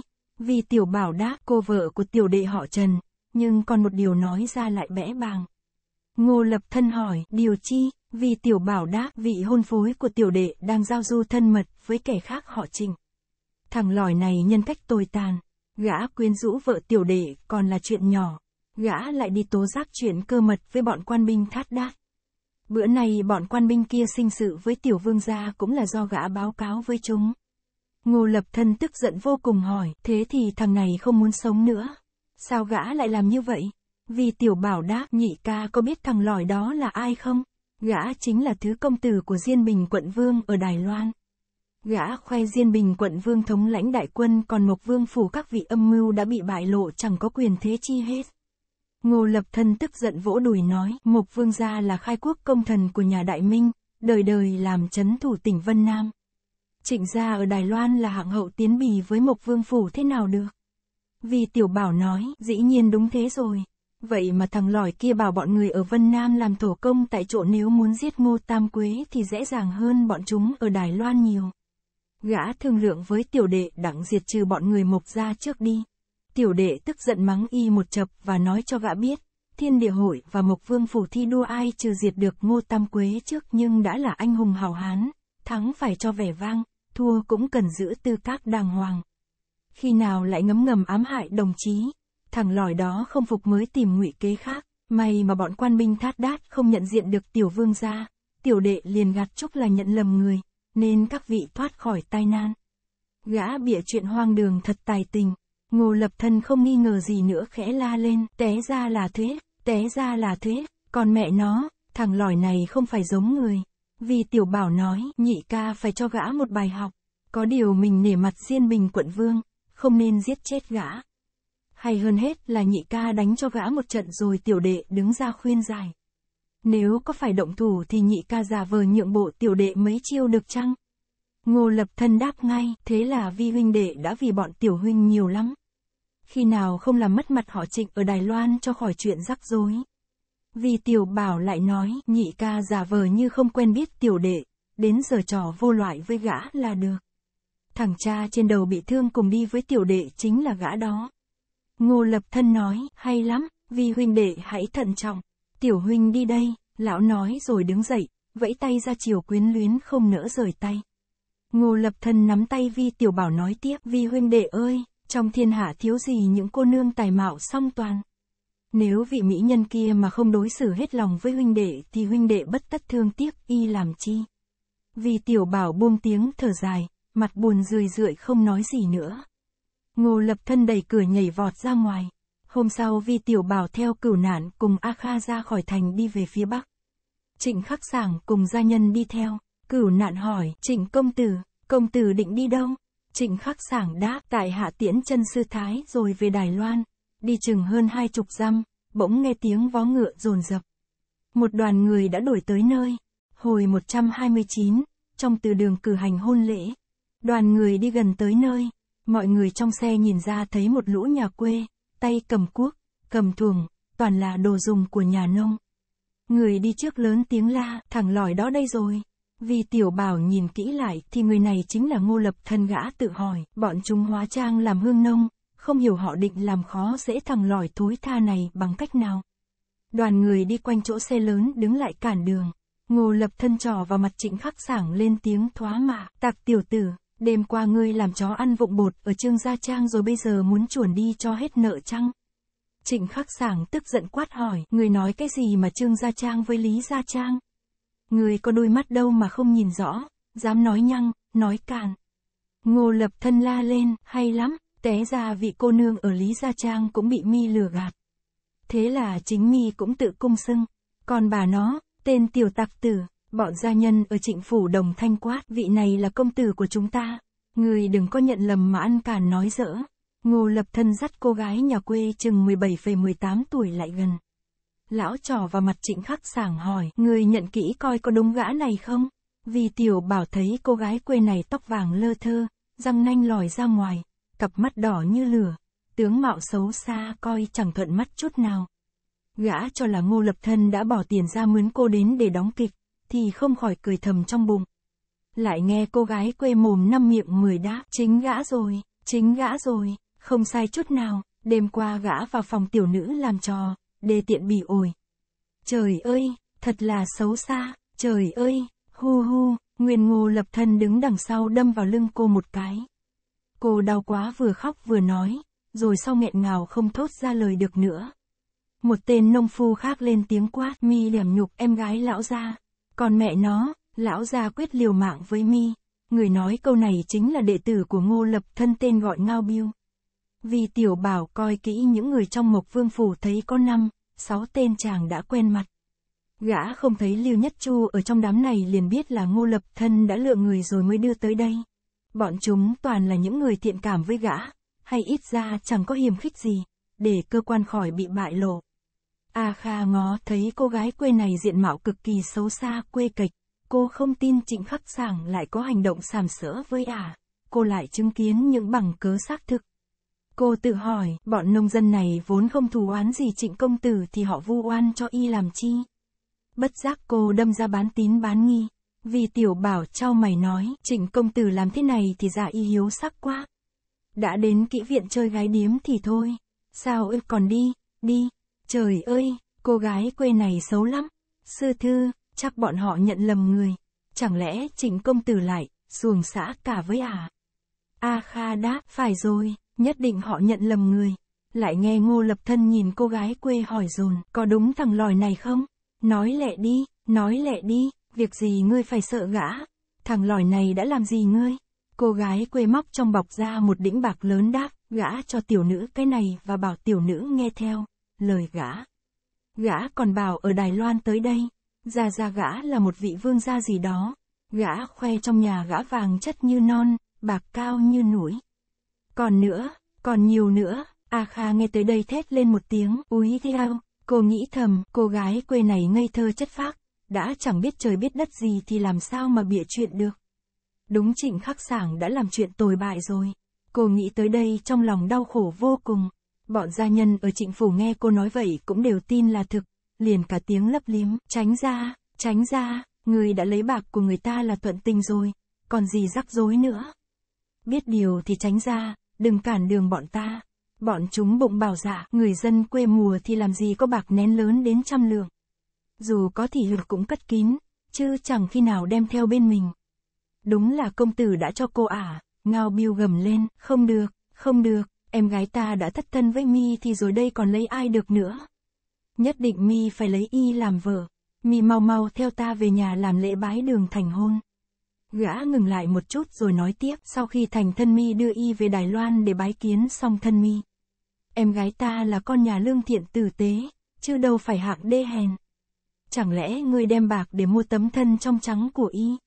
Rồi gã quay lại hỏi cô gái, gã đưa đĩnh bạc trăm lượng cho ngươi bảo để làm gì? Cô gái đáp, y bảo, y bảo làm sinh lễ gì đó. Y còn nói kêu người đến làm mai hỏi tiểu muội làm vợ y rồi đưa về vương phủ. Làm đến, nhất phẩm phu nhân gì đó. Ngao biêu nói, thế thì phải rồi, mi không theo em gái ta về làm lễ thành hôn mà toan bỏ đi ư. Đâu có chuyện dễ dàng thế được. Biết điều thì theo chúng ta về nhà lẹ đi. Trịnh khắc sảng tức giận đến cực độ, bụng bảo dạ, phen này ta đến Trung Nguyên gặp toàn chuyện suối quẩy. Thật là, rồng hãm đầm nông tôm dẫn mặt, hổ xuống bình nguyên bị chó lơn. Cả mấy tên dân dã quê mùa chẳng hiểu từ đâu cũng tìm đến sinh chuyện rắc rối. Hắn vung roi ngựa quất xuống đầu ngao biêu. Ngao biêu rú lên một tiếng, úi theo, rồi hai tay ôm đầu nhã lăn xuống ngựa, nằm cuộn tho lo dẫy dụa mấy cái rồi không nhúc nhích nữa. Bọn hương nông la làng, chết người rồi, hắn đánh chết người rồi. Rồi hắn quất ngựa toan chạy trốn. Đột nhiên một tên hương nông nhảy vọt lên không xông về phía trịnh khắc sàng. Trịnh khắc sàng xoay tay phóng quyền nhắm đấm vào ngực y, người kia hạ mình xuống phía sau yên ngựa của trịnh khắc sàng. Y thỏ tay qua nách hắn nắm lấy cổ, chiều này kêu bằng, tà phê nghịch lân, trong cầm nã thủ pháp mà người kia xử một cách tuyệt diệu. Thủ pháp y rất mau lẻ, miệng lại lớn tiếng la, A Tam, A Cầu, mau lại giúp ta, ta, ta bị hắn đánh đau quá. Trời ơi, thằng lỏi này đánh chết người, nó đánh chết ta rồi. Trịnh khắc sàng toàn thân mềm nhũn không cử động được nữa. Bọn gia nhân trong trịnh phủ rút binh khí ra xông lại. Lần này quần hào ở Mộc Vương Phủ tuy ít người nhưng đều là những tay bản lãnh cao cường. Chúng vung thủ cước lên đánh loạn xà ngầu, bọn gia nhân trong trịnh phủ một số đã bị thương liền bị đẩy lui. Người hương nông kia ôm lấy trịnh khắc sàng từ trên lưng ngựa lăn xuống đất. Y lớn tiếng gọi, A hoa, người mau giữ lấy thằng chồng, đừng để hắn chạy trốn. Cô tôn nữ cười đáp, hắn không trốn thoát được đâu. Rồi cô nhảy vọt lại ôm khư khư lấy trịnh khắc sàng. Bây giờ vi tiểu bảo mới nhìn rõ cô tôn nữ là trai giả gái. Thảo nào người cô xấu quá. Dĩ nhiên đây cũng là một nhân vật ở Mộc Vương Phù.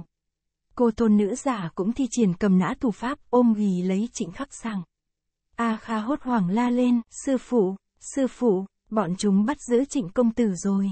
Làm thế nào bây giờ? Cửu nạn lắc đầu đáp, trịnh công tử hành động không được đoan chính. Này in có người giáo huấn không phải là chuyện vô ích. Ta chắc bọn hương nông kia không làm tổn hại đến tính mạng y đâu. Bà nằm trong xe tĩnh dưỡng, chỉ nghe tiếng người huyên náo bên ngoài chứ chẳng nhìn rõ quần hào ở Mộc Vương Phủ động thủ tình hình ra sao. Không thì bà chỉ ngó qua thân pháp của họ cũng hiểu ngay đây là hạng người nào. A Kha nói, bọn hương nông này dường như đều am hiểu võ công. Vì tiểu bảo cười đáp, võ công thì họ chẳng có gì đáng kể, nhưng sức lực chúng quả nhiên không phải tầm thường. Bỗng thấy Ngao Biêu đang nằm dưới đất lồm cồm ngồi dậy la lên, còn mẹ nó, suýt nữa thì thằng lỏi kia đánh chết lão gia. Một tên hương nông cười hỏi, ông bạn là đại cứu tử, sao lại xưng là lão gia? Ngao Biêu liền chữa lại, phải rồi, ta là đại cứu tử của gã, giữ tên tiểu tử đó lại. Đại cứu tử chưa chết thì không bắt gã phải đền mạng.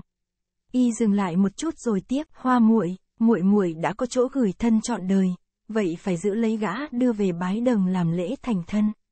Bọn hương nông hoan hô ầm ĩ, lớn tiếng reo, ha ha, có rượu uống, phen này lại được uống rượu mừng đám cưới, rồi dắt hết ngựa của trịnh phủ lại, đỡ trịnh khắc sảng lên yên, theo đường cũ rông tuốt.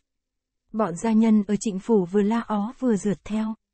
Nhưng toán người kia chạy đã xa rồi mà bọn này đi bộ thì còn đuổi kịp thế nào được.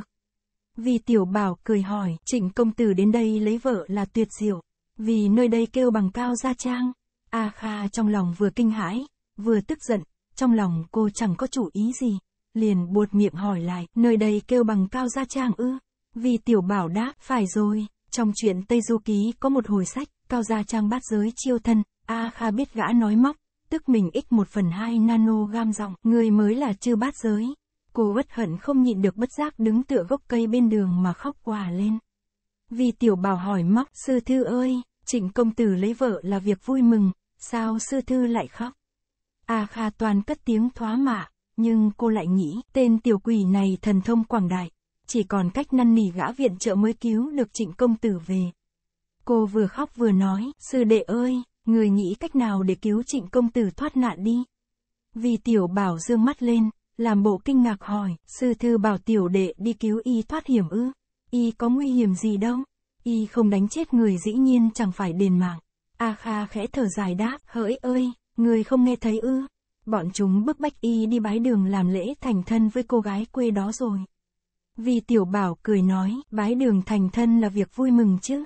Gã hạ thấp giọng xuống nói tiếp, tiểu đệ chỉ mong được bái đường thành thân với sư thư. Đáng tiếc là sư thư không chịu.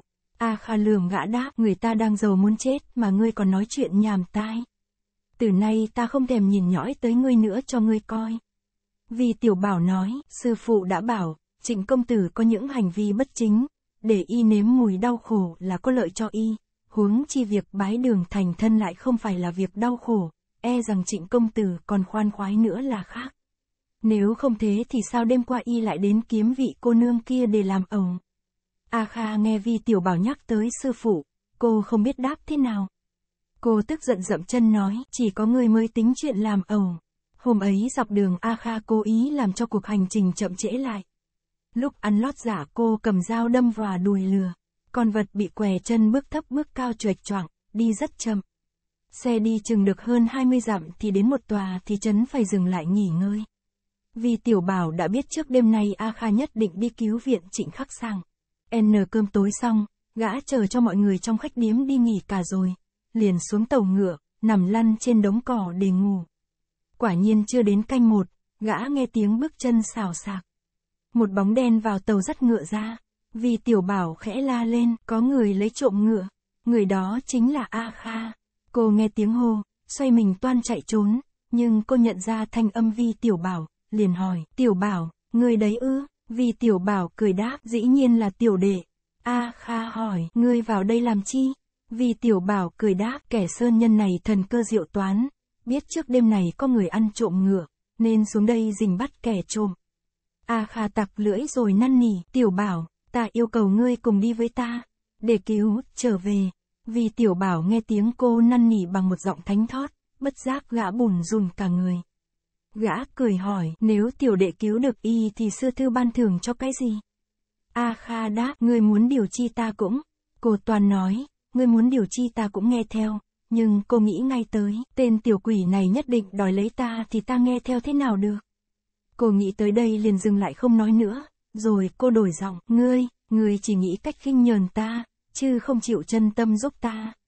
Dứt lời, cô bưng mặt thốt thít khóc. A Kha khóc đây là chuyện thật, chứ không phải giả dối. Có điều, hạnh nên cô tủi thân, chứ chẳng phải cô uốn éo vì tiểu bảo. Vì tiểu bảo thấy cô khóc lóc, lòng gã mềm nhũn ra. Gã thở dài đáp, được rồi, được rồi, tiểu đệ đi với sư thư là xong. A Kha mừng rỡ, nghẹn ngào nói, tạ, tạ ơn sư đệ. Vì tiểu bảo đáp, sư thư bất tất phải cảm ơn tiểu đệ. Có điều tiểu đệ không biết Cao Gia Trang ở đâu. A Kha sừng sốt một chút, rồi cô hiểu ngay vì tiểu bảo nhắc tới Cao Gia Trang là gã có ý nói lòng vòng để thoá mà trịnh khắc sang. Cô khẽ đáp, chúng ta cứ vừa đi vừa kiếm là được. Hai người lén lút mở cổng sau lữ quán, dắt ngựa ra rồi song song cưỡi ngựa trở về lối cũ. Vì tiểu bảo hỏi, trịnh công tử có điều chi hay ho mà sư thư lại chỉ thích y. A Kha hỏi lại, ai bảo ta thích y? Chỉ vì, chỉ vì là chỗ quên biết, y gặp tai nạn dĩ nhiên phải đi giải cứu. Vì tiểu bảo hỏi, giả tỷ có kẻ bắt tiểu đệ đi bái đường thành thân, sư thư có giải cứu không? A Kha cười hích hích hỏi lại, người đẹp lắm sao, ai đem bắt ngươi đi bái đường thành thân?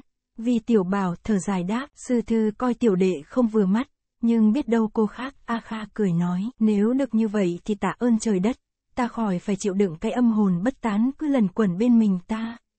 Vì tiểu bảo nói, được rồi, sư thư đã bất lương như vậy thì có kẻ nào bắt đi bái đường thành thân, tiểu đệ cũng không giải cứu đâu. A Kha bất giác kinh hãi vì cô sợ chuyện này mà xảy ra thật, tất phải mong vào gã cứu viện. Cô buồn rầu nói, ngươi nhất định phải cứu ta. Vì tiểu bảo hỏi, tại sao vậy? A Kha đáp, vì người không thể tự thủ bàng quan. Ai bảo ngươi là sư đệ ta? Vì tiểu bảo nghe A Kha nói mấy câu này rất lọt tai. Trong lòng khoan khoái vô cùng. Hai người vừa đi vừa nói chuyện, phút chốc đã tới chỗ hai bên gặp nhau lúc ban ngày. Bỗng thấy mười mấy người ngồi bên đường tay cầm đèn lồng. Chúng đều là gia nhân của trịnh phủ. A Kha dừng ngựa lại hỏi, trịnh công tử đâu rồi? Bọn gia nhân dứng cả dậy. Một tên dơ bộ mặt đưa ma ra đáp, công tử vào nhà từ đường bên kia rồi. Gã vừa nói vừa trở về góc Tây Bắc. A Kha lại hỏi, y đến nhà từ đường để làm gì? Tên gia nhân đáp, bọn hương nông mời công tử đi và bắt ép y làm lễ bái đường thành thân. Công tử không chịu liền bị bọn chúng tay đấm chân đá rất hung dữ. A Kha tức giận hỏi, các ngươi, hư, các ngươi đều là những tay cao thủ mà sao không địch nổi mấy tên hương nông. Bọn gia nhân cực kỳ bẽn lẽn, cúi gầm mặt xuống không dám ngừng đầu lên. Một tên đáp, bọn hương nông này đều là những tay giỏi võ. A Kha cào nhau lớn tiếng, ngươi còn nói nhăng nữa ư. Bọn dân que mùa thì còn biết võ công là gì nữa. Cô quay lại bảo vi tiểu bảo, sư đệ, chúng ta đi cứu y, Cô dục bọn gia nhân, các ngươi dẫn đường cho chúng ta. Một tên lớn tuổi đáp, bọn hương nông đã bảo, nếu bọn tiểu nhân mà đến rắc rối là chúng giết chết hết. A Kha hằn học nói, giết thì giết chứ sợ gì. Quận vương sai các ngươi đi bảo vệ công tử, chẳng ngờ các ngươi toàn là bị thịt, ham sống sợ chết. Tên gia nhân vội đáp, dạ dạ, hay hơn hết là cô nương đừng cưỡi ngựa để khỏi làm kinh động bọn chúng. A Kha hắng giọng một tiếng rồi cùng Vi Tiểu Bảo từ trên nhảy xuống. Thiếu, quang cảnh bên trong khiến A Kha bồn chồn trong dạ, nhưng Vi Tiểu Bảo lại khoan khoái đến cực điểm. Trịnh khắc sảng trên đầu cài mấy bông hồng, đứng đối diện với một cô gái mặc áo đỏ. Trong sảnh đường đèn nến sáng trưng, mấy tên dân quê đang khua chuông gõ trống không ngớt.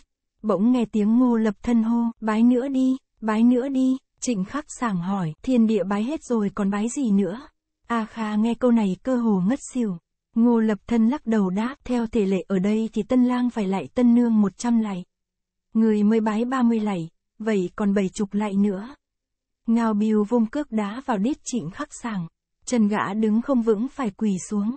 Ngao biêu nắm lấy đầu gã quát hỏi, bữa nay ngươi được làm tân lang thì dập đầu mấy chục cai đã ăn thua gì. Vì tiểu bảo biết bọn người trong mộc vương phủ muốn kéo dài thời gian để chờ gã tới nơi. Gã lẩm bẩm, trong đời người ít khi gặp màn kịch thú vị này. Mình hãy vui cho đã rồi hãy cứu người cũng chưa muộn. Nhưng A Kha trong lòng nóng nảy không nhịn được. Cô đá vào cửa sổ đánh, binh, một tiếng. Cánh cửa mở ra, cô cầm đơn đao nhảy vào quát, các người buông thả y ngay, không thì bản cô nương giết hết. Ngô lập thân vừa cười vừa hỏi, phải chăng cô nương đến đây uống rượu mừng? Sao cô lại động gươm động giáo? A Kha tiến lên một bước vung đao chém tới Ngao Biêu. Thế đao rất là hiểm độc. Ngao Biêu la lên một tiếng, trời ơi, đồng thời nhảy sang bên né tránh. Hắn xách cái ghế dài ở sau lưng đưa lên chống đỡ. A Kha tuy nội lực chẳng có gì, nhưng chiêu số võ công của cô rất tinh kỳ. Chả thế mà khi đến chùa Thiếu Lâm cô chỉ vung tay một cái đã đánh ngã được chi khách tăng.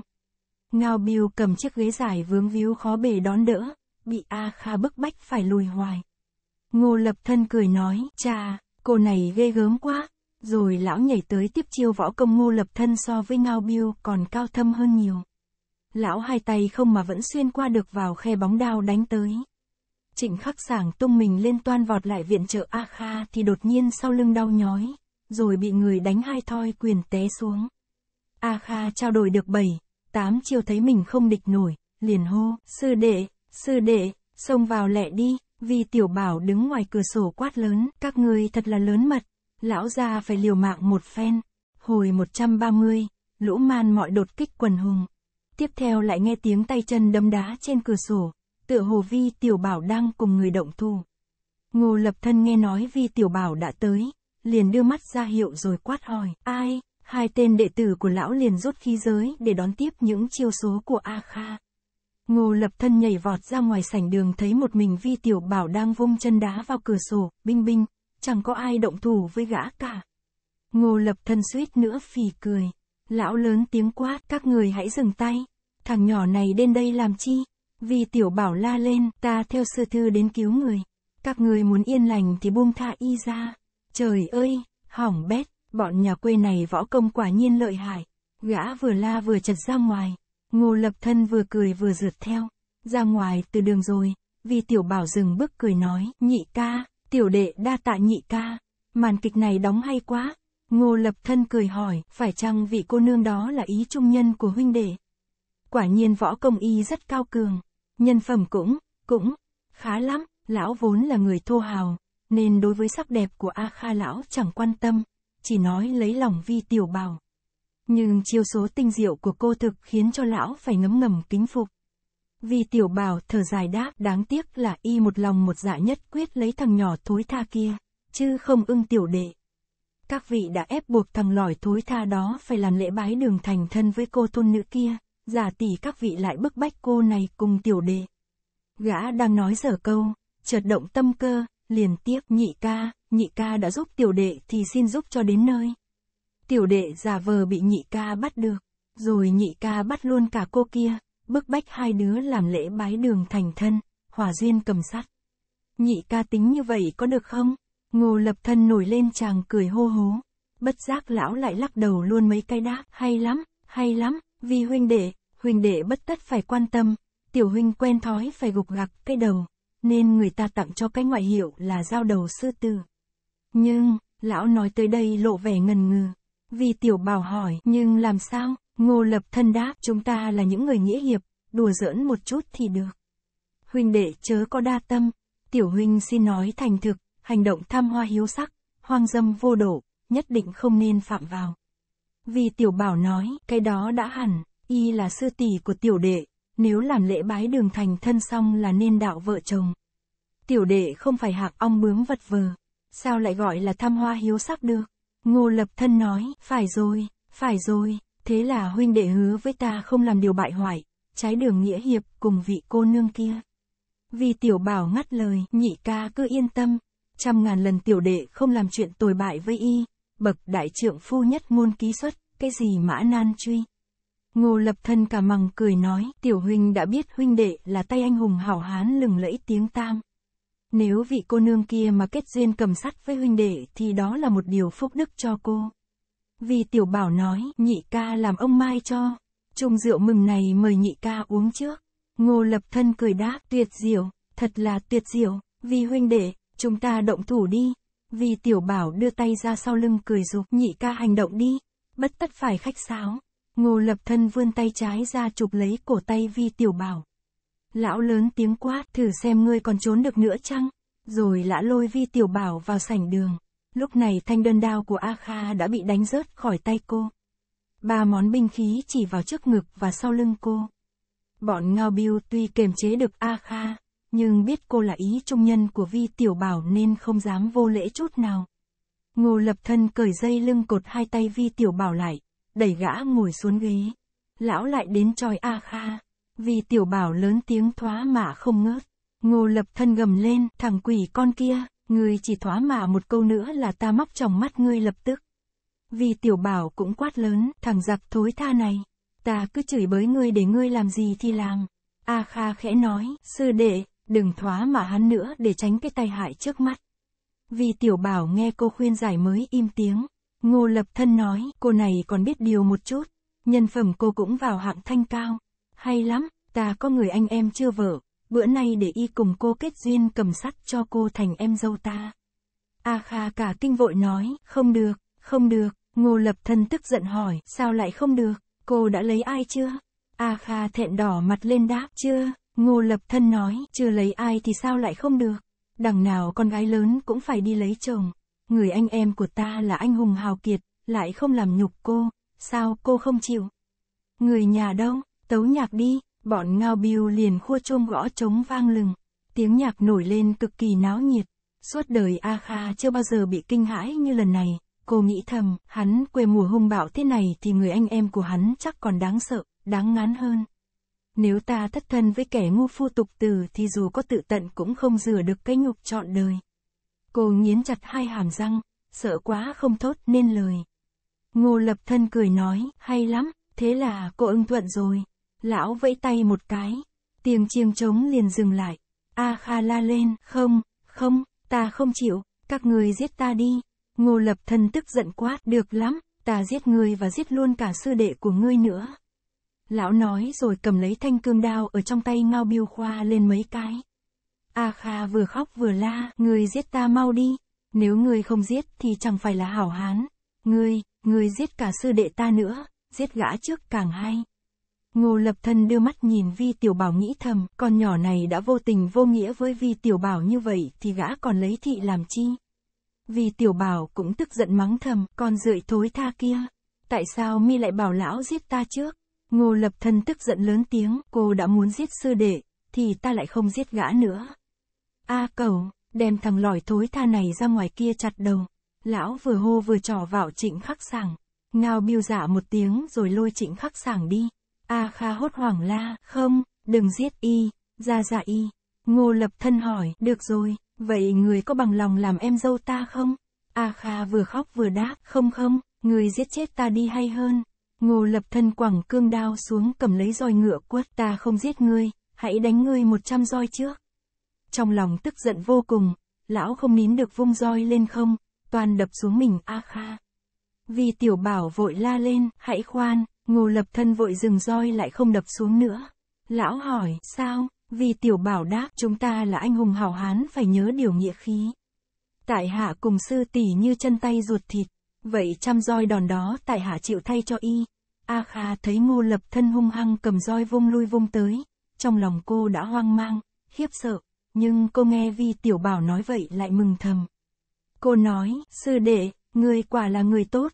Vi tiểu bảo nhìn ngô lập thân nói, hỡi ơi, lão huynh, bất cứ việc gì cũng do một mình tại hạ gánh vác. Cái đó kêu bằng bậc đại trượng phu không sợ nguy nan, thẳng thân đứng ra nhận lãnh trách nhiệm. Lão huynh không nên bức bách sư tỷ của tại hạ phải lấy lệnh huynh đê.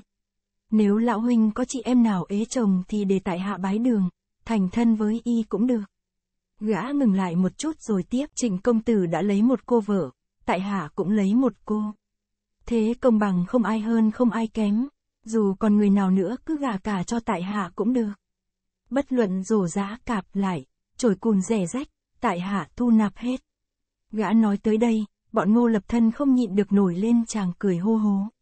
A Kha cũng phải phì cười, nhưng cô chỉ cười một tiếng rồi nghĩ đến mình đang bị ép uổng, bất giác lại xa nước mắt. Ngô lập thân cười nói, chú nhỏ này ăn nói dứt khoát đâu ra đấy, đáng là một trang hán tử. Ta cũng muốn tha các ngươi, nhưng ta đã nói mấy lời không thể bỏ đi được. Nếu mấy câu nói vu vơ đủ khiến ta rút lui ý định thì chẳng hóa ra ta là cái bị thịt. Việc bái đường thành thân nhất định phải làm, vậy ai bái đường đây? Người hay là cô kia? A Kha muốn thoát thân cho chóng, vội đáp, để y bái đường, để y bái đường. Ngô lập thân trợn mắt nhìn A Kha lớn tiếng hỏi, cô muốn gã bái đường thành thân ư? A Kha bẽn lẽn cúi đầu xuống đáp, phải rồi, Ngô lập thân nói, hay lắm, lão trỏ vào vi tiểu bảo lớn tiếng, bữa nay nhất định phải bái đường thành thân. Vi tiểu bảo nhìn A Kha ngập ngừng, tại hạ, A Kha khẽ bảo gã, sư đệ ơi, bữa nay ngươi cứu ta thoát nạn, vĩnh viễn ta không quên ơn, ngươi nên nhận lời đi. Vi tiểu bảo hỏi, sư thư muốn tiểu đệ bái đường thành thân ư? Hỡi ơi, sư thư đã biết vụ này thật khó giải quyết. A Kha lại nói, ta biết rồi, nếu bữa này người không giúp ta thoát nạn thì ta chỉ còn đường đập đầu tự tử. Ta, không làm gì được, nên phải năn nỉ ngươi, bọn chúng, hung dữ quá. Vì tiểu bảo lớn tiếng, sư thư ơi, bữa nay sư thư đã mở miệng năn nỉ tiểu đệ. Tiểu đệ đành miễn cưỡng vâng lời sư thư. Sư thư yêu cầu tiền đệ bái đường thành thân, nhưng tiểu đệ chẳng vui lòng chút nào. A Kha đáp, phải rồi, ta yêu cầu sư đệ, năn nỉ sư đệ. Sư đệ là bậc anh hùng hảo hán, là bậc đại trượng phu thẳng thắng đứng ra cứu người trong lúc nguy cấp. Lại, chịu nghe lời ta nữa. Vì tiểu bảo thở dài nói, sư thư ơi, lòng dạ của sư thư tiểu đệ hiểu cả rồi. Dù sư thư có bắt tiểu đệ phải chết ngay lập tức, tiểu đệ cũng quyết chẳng trao mày. Sư thư đã muốn tiểu đệ bái đường thành thân, dĩ nhiên tiểu đệ phải vâng lời. A Kha nói, ta biết sư đệ đối xử với ta rất tử tế. Từ nay, từ nay ta cũng đối đãi với sư đệ một lòng một dạ. Ngô lập thân cười hỏi, vậy cứ làm thế, tiểu huynh đệ, ta tiếc rằng chẳng còn đứa em gái nào để gả cho tiểu huynh đệ. Con gái ta lại còn nhỏ quá mới lên ba tuổi thì không được rồi. Hỡi ơi, trong bọn các người ai còn em gái mau mau kêu đến đây để thành hôn cùng vị tiểu anh hùng này. Ngao Biêu cười đáp, tiểu nhân không còn ai. Một tên khác nói, vị anh hùng này nghĩa cả ngất trời xanh, nếu tại hạ được kết thân ra với gã thì thật là phước lớn. Nhưng đáng tiếc tại hạ chỉ có một vị huynh đệ, chứ chẳng còn chị em gái nào cả. Người khác nói, tỷ tỷ của ta đi lấy chồng đã sanh hạ được tám đứa con. Tiểu anh hùng ơi, chấm than, nếu tiểu anh hùng chờ được đến khi anh rể ta chết thì ta khuyên tỷ tỷ cải giá lấy tiểu anh hùng. Ngô lập thân cười nói, còn phải chờ đợi thì không được rồi. Hiện giờ ai còn chị em không? Mọi người lắc đầu đáp, không có, vì tiểu bảo cả mừng nói, thưa các vị bằng hữu chẳng phải tiểu đệ không chịu mà vì các vị đây chẳng ai có chị em gái. Vậy nên buông tha cho bọn tạ hạ quách. Ngô lập thân lắc đầu đáp, không được, bậc đại trưởng phu nhất môn ký xuất, tứ mã nan truy. Bữa này nhất định phải có cuộc bái đường thành thân, không thì chọc giận sát thần thái tuế. Mọi người ở đây đều chết bất đắc kỳ tử, chứ đâu phải là chuyện đùa. Được rồi, tiểu huynh đệ làm lễ bái đường thành thân cùng tiểu cô nương kia. Lão vừa nói vừa trò vào A Kha. A Kha cùng vi tiểu bảo đồng thanh la lên, không, không được rồi, Ngô Lập Thân tức giận quát hỏi, sao lại không được, cô muốn bái đường thành thân với người anh em của ta? Hay bái đường thành thân với vị tiểu huynh đệ này? Tùy ý cô lựa chọn ai cũng được. A Kha mặt đỏ bừng lên lắc đầu đáp, ta không muốn thành thân với ai hết. Ngô Lập Thân lại quát, bây giờ mà cô còn từ chối ư? Giờ tốt đến nơi rồi. Nếu để lỡ hung thần giáng lâm thì chẳng còn một ai sống sót. Lão dừng lại một chút rồi gọi, này, A Tam, A Cẩu, hai tên này không chịu bái đường thành thân, vậy các ngươi cắt mũi chúng đi. Ngao Biêu và một tên sư đệ đồng thanh giả một tiếng rồi cầm cương đao liếc vào mũi A Kha. A Kha không sợ chết, nhưng nghĩ tới bị cắt mũi biến thành người cực kỳ xấu xa. Co tái mặt, không còn một chút huyết sắc. Vì tiểu bảo nói, các bạn đừng cắt mũi sư thư tại hạ, cắt mũi tại hạ hay hơn. Ngô lập thân đáp, phải cắt đôi mũi để tế hung thần mới đủ mà ngươi chỉ có một cái biết làm thế nào. Này, gã họ trịnh kia, ta cắt mũi ngươi thay cho cô này được không? A Kha nhìn trịnh khắc sảng bằng con mắt khẩn cầu. Trịnh khắc sảng không dám nhìn cô, vừa quay đi chỗ khác vừa lắc đầu. Ngô lập thân hỏi, thằng lõi này không chịu mà sư đệ cô lại vui lòng ngay. Chà, lệnh sư đệ thật là người tốt, cô không lấy y thì còn lấy ai?